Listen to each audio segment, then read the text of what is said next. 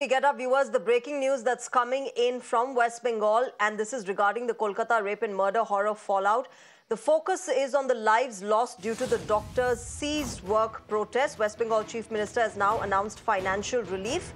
2 lakh rupees financial relief for 29 individuals is what the West Bengal government has now announced, even as this tussle continues between the state government and the protesting doctors. Let me go across to my colleague Pooja for more details on this. Pooja, uh, the Chief Minister now announcing a 2 lakh financial relief for 29 people uh, amid the fact that the state government and the Chief Minister have been reiterating that people are losing their lives because the doctors are not returning to work.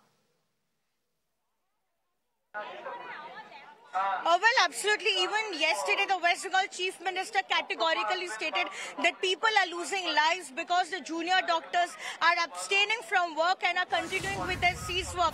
And yesterday, she said 27 people dying. But today, the Chief Minister taking to Twitter has now, in fact, announced that 29 people have now, in fact, lost their lives because of no treatment being given to them and the fact that the junior doctors are continuing with their cease work. The government has now announced a compensation of 2 lakh rupees, a financial relief of 2 lakh rupees for family of the deceased.